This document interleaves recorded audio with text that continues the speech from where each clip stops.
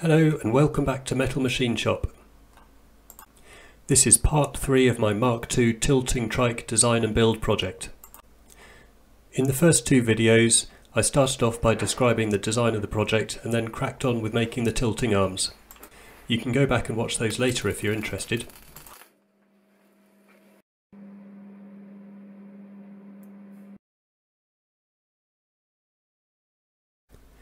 This time I'm going to be making a start on the frame which forms the backbone of the trike. The frame is mostly made from thin wall steel tubing.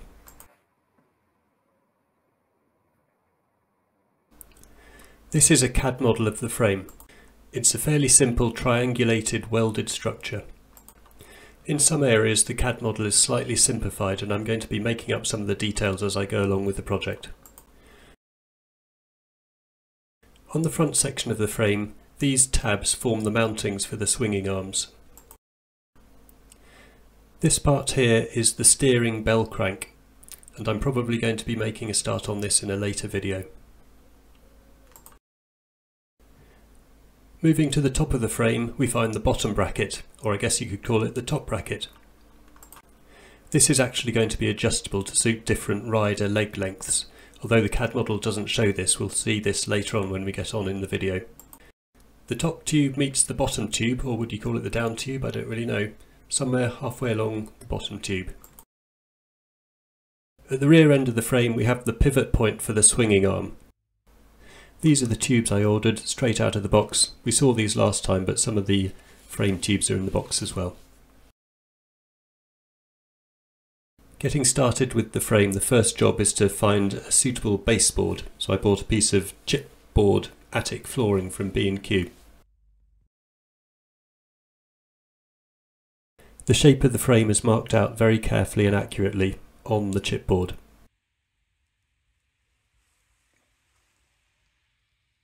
I glued plywood blocks to the baseboard to hold the framing components accurately in place.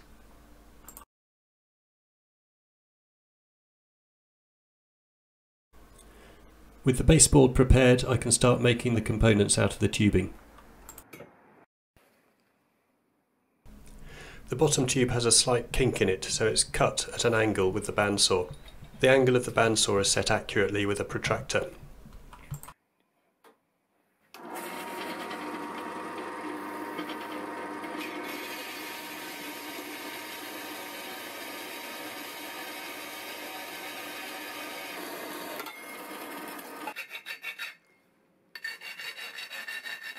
The tubes were dressed with a file in way of the joint, and the two ends came together quite nicely.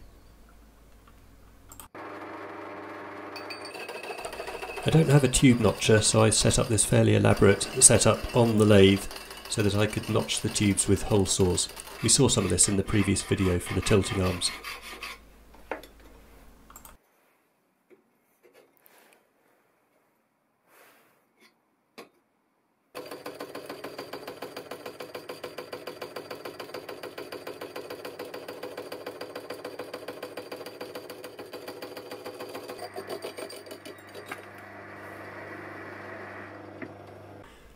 By holding a piece of the same tube in the three jaw chuck, I was able to set the correct height on the workpiece to ensure that the notch was in precisely the right place.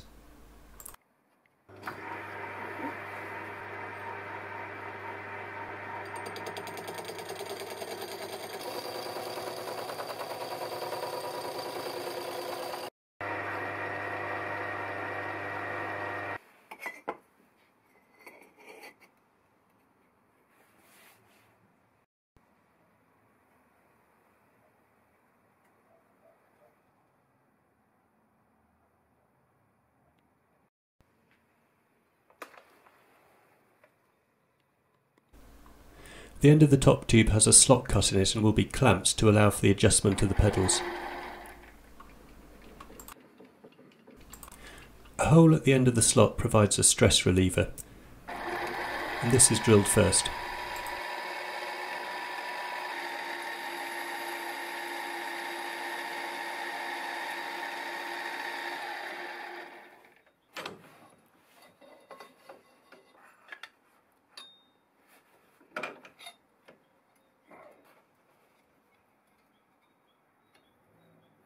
The slot is cut with a slitting saw.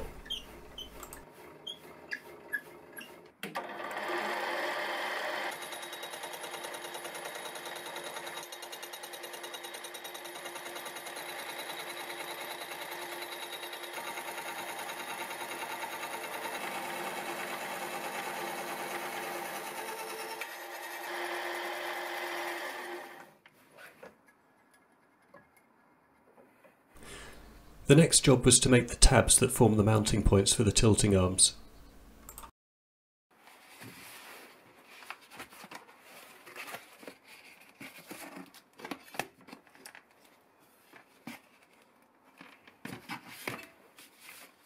I ordered some steel plate for this, and when the plate arrived I looked at it for a while and thought, you know what, this is going to be a lot of work and I really can't be bothered.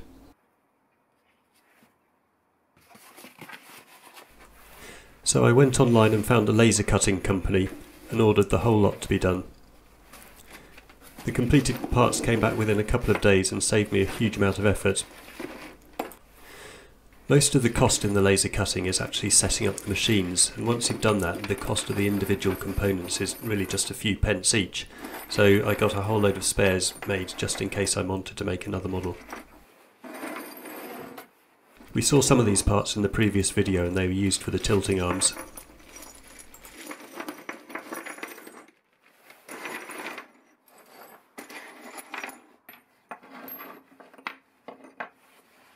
These parts are the tabs for the lower swinging arms and the hole shape in the middle will fit neatly over the bottom tube.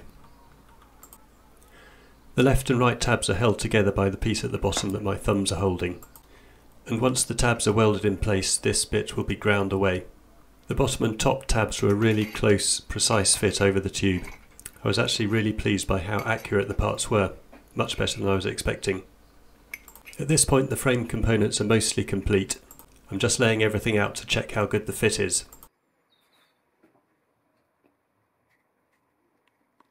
This is the bottom bracket and it's going to be welded to this tube. The tube is a sliding fit in the top tube and this is how the pedal position is adjusted. The sliding tube will be notched to fit closely on the bottom bracket of course.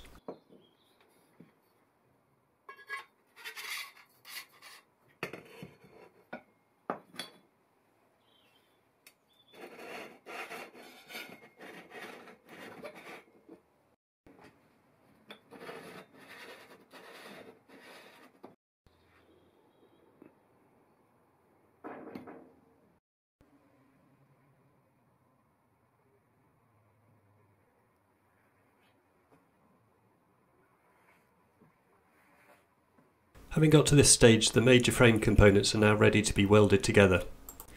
As you may remember from my last video, I wasn't particularly pleased with the results I was getting from my MIG welder. That's down to me, not the welder. I need to do a lot more practice before I can achieve satisfactory standards.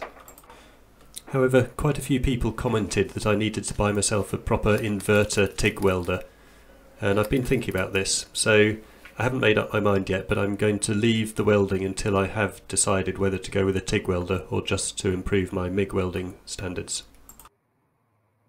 Either way, it's going to take a lot of practice to be good at TIG welding, so I'm going to think about it and leave the frame components to one side until I've made my mind up. In the meantime I've been working on the swing arm, and that's going to be the subject for the next video, but here's a sneak peek of it.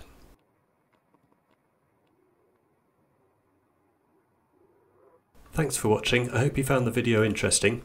As ever, please don't forget to like, subscribe to the channel and leave comments down below. I do try to answer all the comments.